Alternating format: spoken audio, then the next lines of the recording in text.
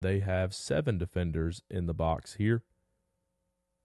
And you can see we're running mid zone weak.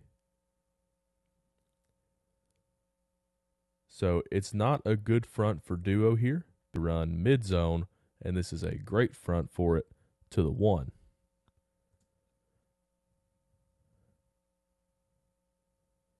So here they get the front side widened, they get the back side cut off, and a great alley for the running back to hit.